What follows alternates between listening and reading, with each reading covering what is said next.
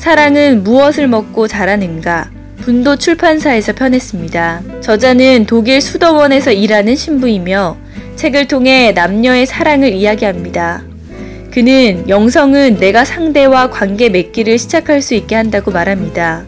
하느님의 축복을 신뢰할 수 있게 하고 희망을 품고 관계에 몸 던질 수 있게 도와준다고 강조합니다.